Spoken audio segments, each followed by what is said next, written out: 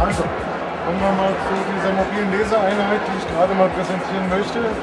Für Messeeinsatz oder Eventveranstaltungen ideal geeignet, um den Kunden durch ein personifiziertes Werbegeschenk dauerhaft möglicherweise binden zu können. Die meisten Werbeartikel werden mit Firmenlogos gebrandet und werden dann entsprechend verteilt. Wie der Werdegang von einem Werbeartikel langfristig sein wird, lässt sich dadurch natürlich nicht nachvollziehen.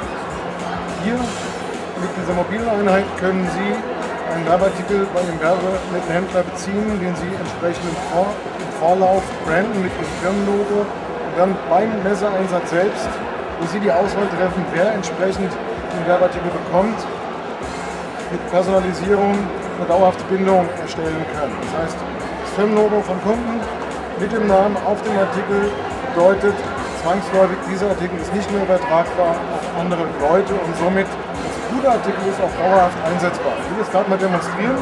Wir haben hier beispielsweise ein Visitenkartenetui, welches dezent auf der Rückseite gebrandet wurde. Bei vollständigen Metallartikeln macht man das so, dass man auf der Innenseite möglicherweise das Branding vornimmt, damit der Artikel auch auf den ersten Blick nicht wie ein Werbeartikel wirkt. Mhm. Dann kommt der Kunde auf den Messestand. In der Regel tauscht man eine Visitenkarte dann auch gegen einen Werbeartikel, weil sonst habe ich ja auch irgendwo nichts mehr in der Hand. Das heißt, als Publikumsmagnet, dadurch, dass wir eben Artikel verteilen können, werden hier sehr, sehr viele Artikel am Tag, so ca. 500 bis 1000 Stück, individualisiert.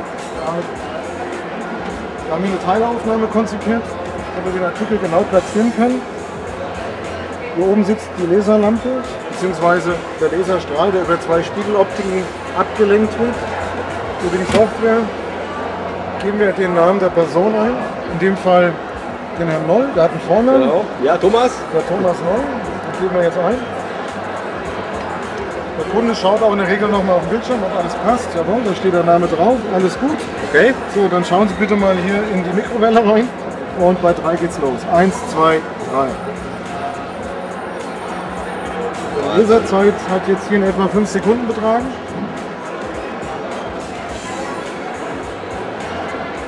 Der Artikel wird jetzt nochmal entgereinigt. Und die Gravur ist jetzt hier in dem Fall im Oberflächenbereich in der Galvanisierung oder in der satinierten Oberfläche. Wir gehen in der Regel nicht ins Material rein, damit eben dauerhaft auch gegen Rost sozusagen eine Gewährleistung ist. Mhm. Super. Ja.